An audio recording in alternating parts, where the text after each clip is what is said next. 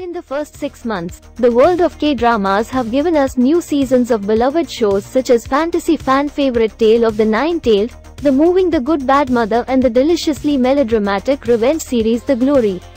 While there's an array of exciting new music releases to come, including the live-action adaptation of Moving and Gyeongseong Creature starring Park Seo-joon, let's take a look back at the 10 best K-dramas of 2023 so far.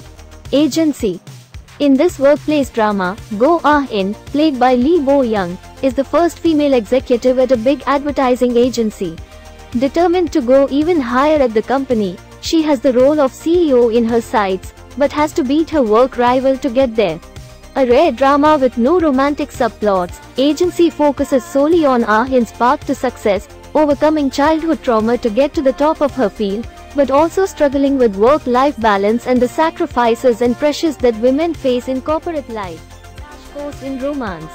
What's better than one romantic storyline in a K-drama? Two romantic storylines, of course. It's basic maths.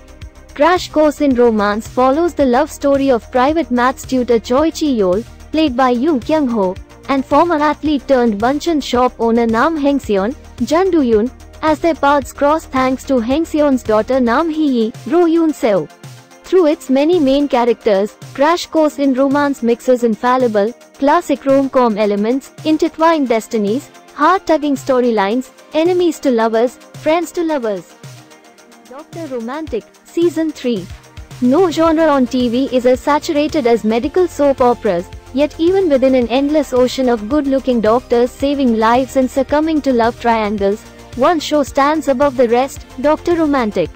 Now in its third season, this inspiring K-drama chronicles the saga of genius surgeon Master Kim, Han Suk-kyu, and the unwavering staff at Doldam Hospital, who fight healthcare injustice to treat their sick and wounded patients at all costs. Love to Hate You The relationship at the center of Love to Hate You might be contrived but there's something refreshing about this rom-com. Yo Mi Ran, played by Kim Ok-vin, is a lawyer who breaks men's hearts as a way to enact justice, while Nam Kang-ho, Teo Yoo, is a top actor who hates women. When Mi Ran gets a job at the firm representing Kang-ho, the pair meet and begin an enemies to lovers trajectory built around a fake relationship.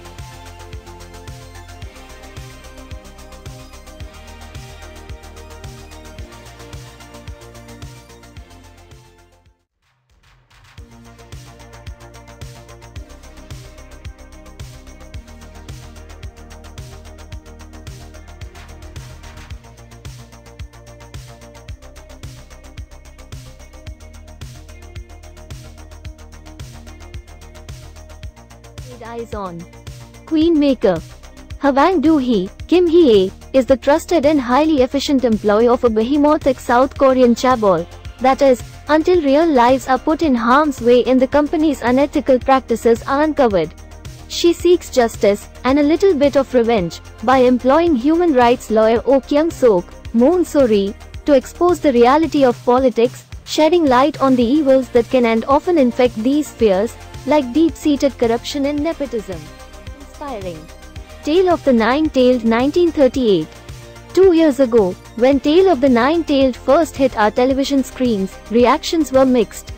Lofty expectations of its incorporation of South Korean mythology and the supernatural were not met, and thus a widespread skepticism about a second season was inevitable.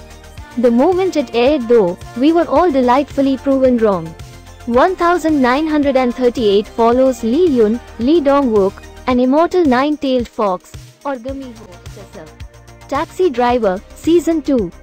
K-dramas adore revenge narratives, but few do it better than Taxi Driver. The series follows Kim Do-gi, Lee Je-hoon, an ex-military man whose mother was murdered. Since he was unable to get vengeance, Do-gi now works as cabbie for Rainbow, a taxi company serving as a front for a group of vigilantes offering a revenge call service. Really gives. The Glory Part 2. Why do the poor believe in things like poetic justice and karma? Former high school tormentor Park Yeon-jin, played by Lim Ji-yeon, says during The Glory Part 2. It's a line that almost cements her fate while highlighting the class hierarchy at the center of the gripping drama, with the determinedly ruthless Moon Dong-yoon, Song Hye-kyo, focused on putting her long harbored plans for revenge into motion. Bad Mother When a life-altering accident reverts her son Choi Kang-ho, Lee Do-hyun, to 7 years of age mentally, Jin Young-soon, veteran actress Ra Mi-ran, gets a new chance at motherhood. To repent for their estrangement, she sets out to undo the trauma she had unwittingly put her son through, and in turns takes us on a journey that is as heartbreaking as it is human.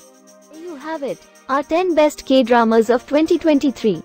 These dramas are a roller coaster of emotions, suspense, and unexpected twists that will leave you wanting more. Which one are you most excited to watch or rewatch? Let me know your thoughts in the comments below. And don't forget to hit that like button and subscribe for more K-drama insights, recommendations, and exciting content. Thank you for joining me today, and until next time, keep enjoying those heart-pounding stories.